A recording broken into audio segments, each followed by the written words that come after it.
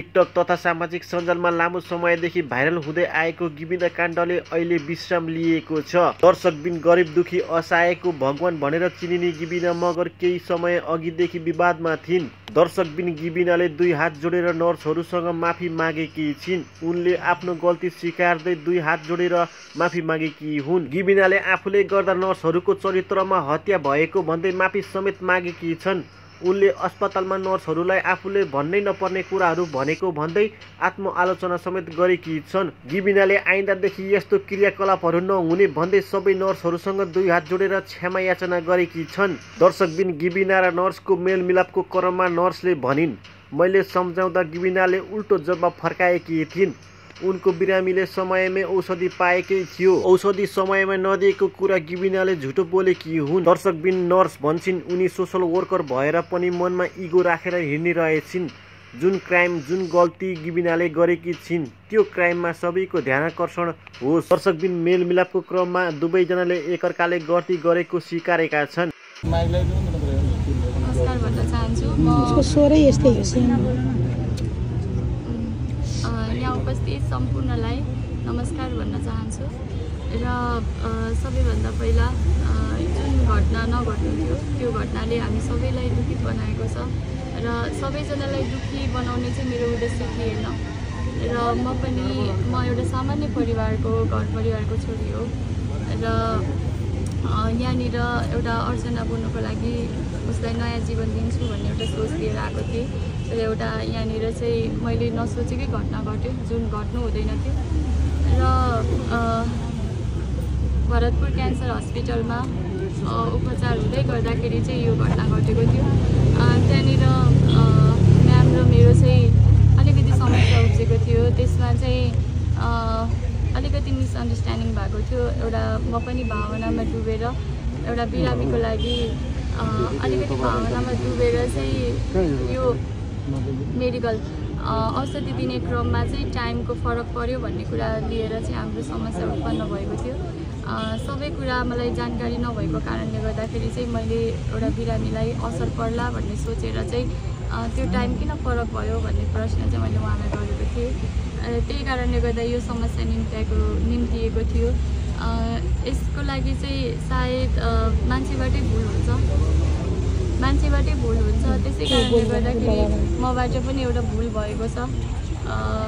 त्यही कारणले गर्दाखेरि यही भुलले गर्दाखेरि धेरैजना नर्सिङ पेसामा जो आबद्ध हुनुहुन्छ नर्सिङ पेसामा जो आबद्ध हुनुहुन्छ उहाँहरूलाई धेरै समस्या आएको छ।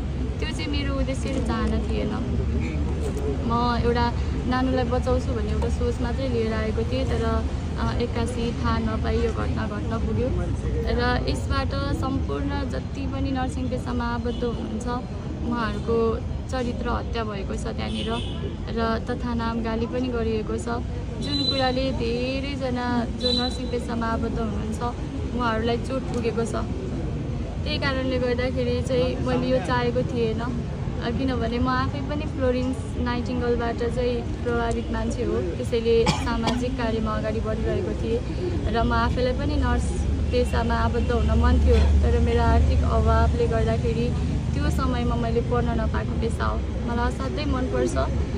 तर अहिले चाहिँ मेरो आफ्नो जानेर या नजानेर अन्जानमा भएको यो भुलले गर्दाखेरि सम्पूर्ण यहाँ जतिजना नर्सिङ पेसामा आबद्ध हुनुहुन्छ उहाँहरूलाई समस्या आएको कारणले गर्दाखेरि उहाँहरूको जुन काम छ पेसा छ त्यसमा चाहिँ विभिन्न प्रश्नहरू आएको कारणले गर्दाखेरि यसले चाहिँ सबैजनालाई दुःखी बनाएको छ।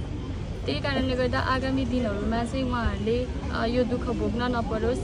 आगामी दिनहरूमा उहाँहरूले गरिरहेको यो पेसामा प्रश्न नउठोस् र फेरि पनि यो समस्याहरू सिर्जना नहोस्। किनभने मान्छेलाई बचाउने जन्म दिने बचाउने भगवान् पछिको चाहिँ डक्टर नर्सहरू हुनुहुन्छ।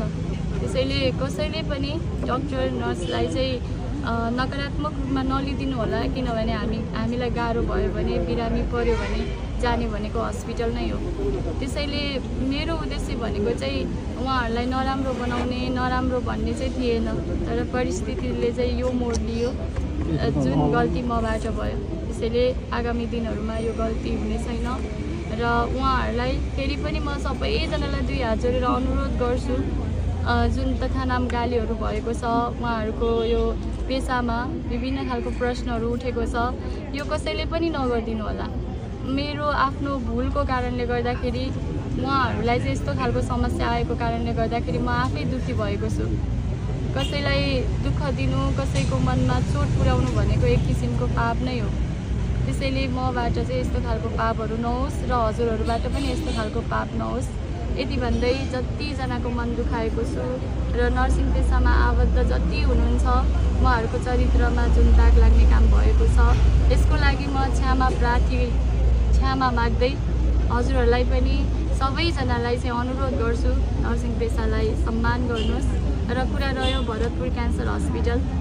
पहिल्यैदेखि सुन्दै आएको हो असाध्यै राम्रो हस्पिटल जहाँनिर जहाँनिर चाहिँ धेरैजना बिरामीहरू त्यहाँ गयो भने चाहिँ सन्चो हुन्छ भनेर चाहिँ आउने गर्नुहुन्छ।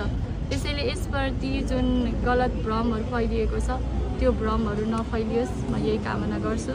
साथै सबैजनालाई यही अनुरोध गर्छु कि आगामी दिनहरूमा तथा नाम गाली गर्ने अनेक थरी भन्ने त्यो समस्याहरू चाहिँ उत्पन्न नहोस्।